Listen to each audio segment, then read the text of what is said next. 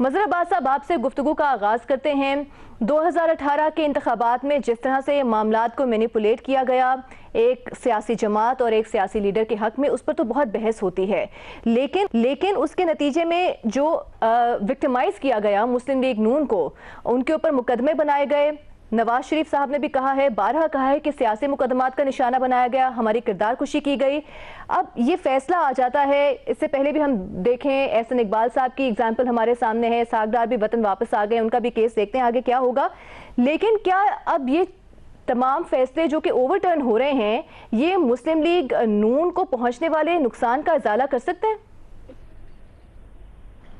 देखिए, अभी देखना ये, क्योंकि मेन केस तो मियाँ नवाज़ शरीफ के खिलाफ जो ये ये तो उसके बाद की हम्म। सूरत हाल है ना। असल चीज़ ये कि क्या नवाज़ शरीफ साहब को इस केस के हवाले से रिलीफ मिल पाएगा?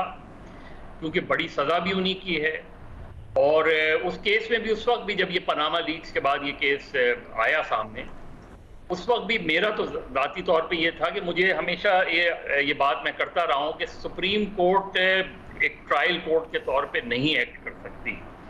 क्योंकि हमने देखा ही है कि उसमें पहले नवाज़ शरीफ साहब डिसक्वालीफाई हुए सुप्रीम कोर्ट ने डिसक्वालीफाई किया और उसके बाद उसके बाद ट्रायल हुआ एहतसाब अदालत में और एहतसाब अदालत ने सजा दी। तो अगर सुप्रीम कोर्ट एक तरफ़ अपना जहन जो है वो वाजे कर कर देती है तो उसके बाद बहुत मुश्किल है कि लोअर कोर्ट पे जाके या दूसरी अदालतों में जाके चीज़ें मुख्तलिफ़ होंगी। उस लिहाज से तो हम देखें तो अभी हमें इंतज़ार करना पड़ेगा कि क्या नवाज़ शरीफ साहब को इस केस में रिलीफ मिल पाएगा? क्या उनकी अपील एक्सेप्ट होगी या नहीं होगी?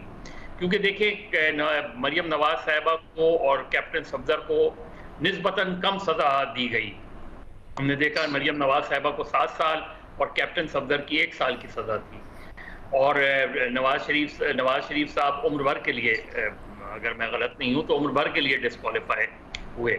शायद दस साल के लिए हम्म। अगर मुझे इस वक्त याद नहीं आ रहा। लेकिन ओवरऑल अगर हम देखें मेन मेन फॉर लाइफ थी हाँ। जी मेन केस भी नवाज़ शरीफ साहब के खिलाफ है। और वो ज़ाहिर है प्राइम मिनिस्टर थे उस इसलिए भी उनके खिलाफ ज़्यादा सीरियस वो बन गया चीज़ें बन गई। तो अब नवाज़ शरीफ साहब इसके बाद क्या वापस आएँगे? नवाज़ शरीफ साहब अपनी अपील को फेस करेंगे। अगर नवाज़ शरीफ साहब को रिलीफ मिलता है तो हम ये ज़रूर कहेंगे कि हाँ। मुस्लिम लीग नून बहुत बड़ा रिलीफ मिला।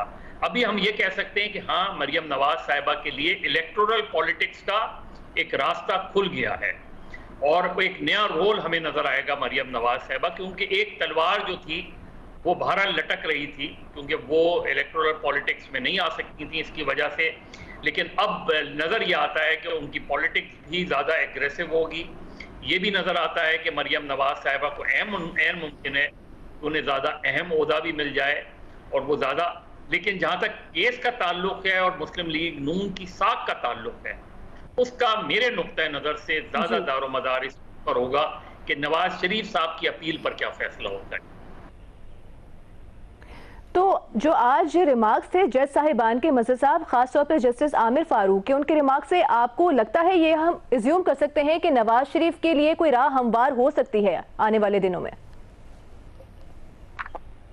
देखिए कहने को आप कह सकते हैं अभी तो एक एक मरला है ना एन मुमकिन है कि नैब जो है वो सुप्रीम कोर्ट में अपील करे इस फैसले के खिलाफ। ये भी इस चीज़ का भी इम्कान है। हम्म, हम्म। फिर कोर्ट की एक लार्जर बेंच ने नवाज़ शरीफ साहब को डिस्कालीफाई किया था। तो अब देखना यह कि जब अपील वहाँ जाएगी तो क्या सूरत हाल होगी? अगर अपील जाती है वहाँ अपील फ़ाइल करती है। लेकिन एक रास्ता है अभी नैब के पास कि वो अपील इस फैसले के खिलाफ कर सकती है। लेकिन हमें इस वक्त ये कह ज़रूर कहेंगे कि मुस्लिम लीग नून को और मरियम नवाज़ को एक पॉलिटिकल बूस्ट ज़रूर मिला है इस फैसले से। क्योंकि ज़ाहिर है एवन फ़ील्ड केस की तलवार जो थी वो शरीफों पे लटक रही थी तो उस लिहाज से हम कहेंगे कि एक बूथ ज़रूर मिला है एक ज़रूर उनको ये हौसला ज़रूर हुआ है। लेकिन असल चीज़ मेरे नुक़ नज़र से वही होगी जब मियाँ नवाज़ शरीफ साहब की अपील का फैसला होगा।